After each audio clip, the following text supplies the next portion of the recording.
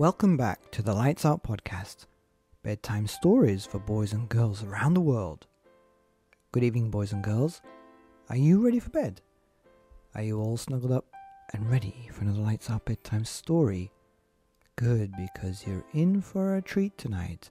That's right, another monster treat with a book called Monsters Don't Eat Broccoli by Barbara Jean Hicks and illustrated by Sue Hendra. And a huge shout out goes to all you amazing listeners and supporters of the show who are making our mission of a thousand ad free stories forever for boys and girls around the world a reality.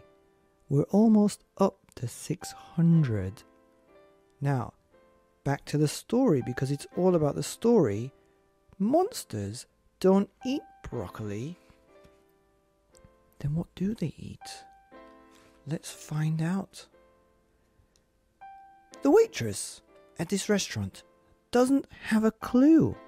Monsters don't eat broccoli. How could she think we do? We'd rather snack on tractors or a rocket ship or two, or tender trailer titbits, or a wheelie steely stew. No, monsters don't eat broccoli or artichokes or greens.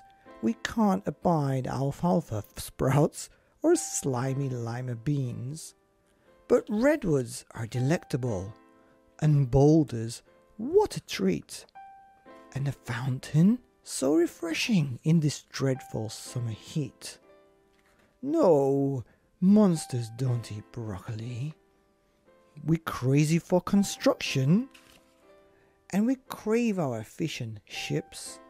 But monsters don't eat broccoli. It will not pass our lips.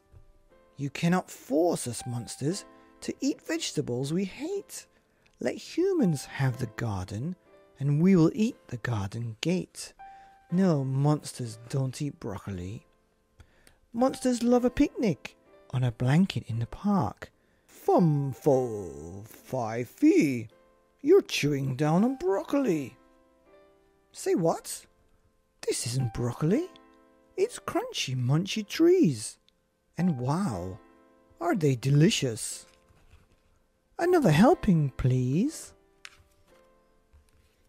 The end of Monsters Don't Eat Broccoli by Barbara Jean Hicks and illustrated by Sue Hendra. Here on the Lights Out podcast, bedtime stories for boys and girls and monsters that don't eat broccoli around the world.